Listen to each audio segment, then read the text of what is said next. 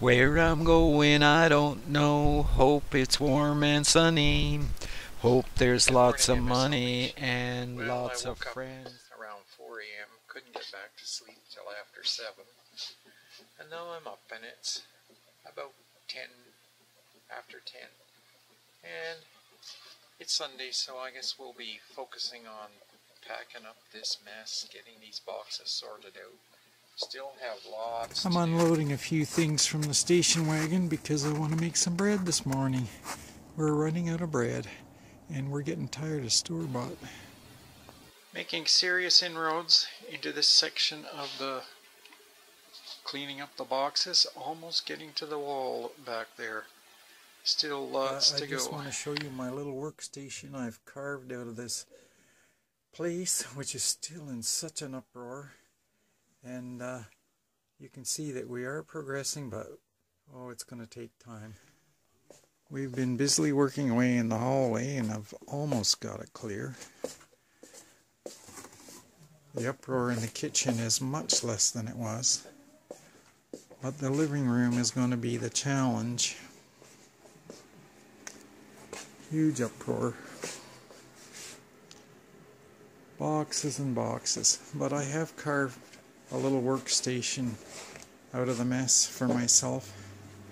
And that I am grateful Well, the for. bread's all made. Just gotta rise and bake. Only a few loaves today.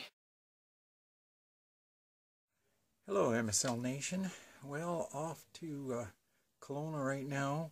Well, I'm still working on cleaning out Betty. She's got a lot of stuff in her. Just stuff that's gotta go. Wet snow falling. I'm off to upload my video. I'm gonna try the bakery this time. I think uh, might have better Wi-Fi connection there than at the library. Uh, I hope so. Sure took a long time to do the last upload. So I'm at the Winfield Bakery and Coffee Bar. They got lots of good products. Sort of feels like home to me to be here I'm at a bakery. my video, and it's taking quite a long time. Uh, an hour and 40 minutes to go. I hope they don't close too early here. I'm not sure what time they close, but if they close at 5, I'm cooked.